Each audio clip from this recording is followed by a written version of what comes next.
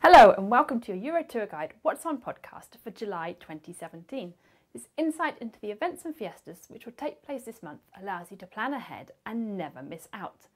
Eurotourguide.com is brought to you by our sponsors Girasol Homes, Costa Blanca Quad Tours, Casas España, Debarca Tours, Spanish Insurance, Murcia Golf Properties, OP Group, Benny Connect, Abaco Advisors and Vincent's Real Estate. There are lots of musical experiences during this July. The sultry sounds of jazz can be enjoyed in Elche City for their annual Jazz Festival. There is the internationally famous San Javier Jazz Festival, which is now in its 20th year and has been declared as being of regional tourist interest. Cartagena has a great mix of music during the 23rd edition of its Mar Musical Festival, with three or more concerts to choose from every night. Not to be left out, the city of Murcia is hosting the 50th International Folk Festival with performers from many different countries. Another exciting music event which takes place annually during July is the Habaneras in Torrevieja.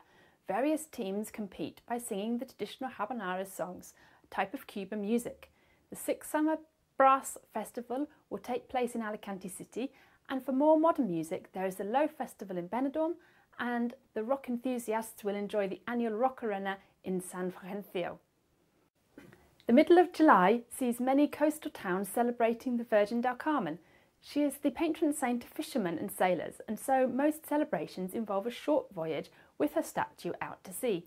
Torrevieja, Santa Pola, San Pedro de Pinatar, Santiago de la Ribera, Moraira and Benidorm all have marine processions on or around the 16th of July.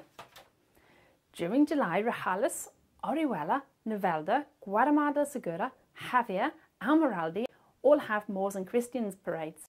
The fiesta, which coincides with the honouring of the patron saint, commemorates the 700 years of Moorish occupation and their expulsion during the 14th century by the Christians. The Moors and Christians fiesta in Villajoyosa has been declared as being of international tourist interest and is well worth enjoying, especially the battle that takes place at 5am on the beach and out at sea. There are a large variety of other fiestas, all in honour of the patron saints, the most famous of which is the Bulls in the Sea fiesta in Denia.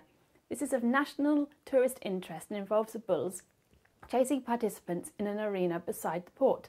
The participants jump into the sea to escape the bulls, but sometimes the bulls follow too.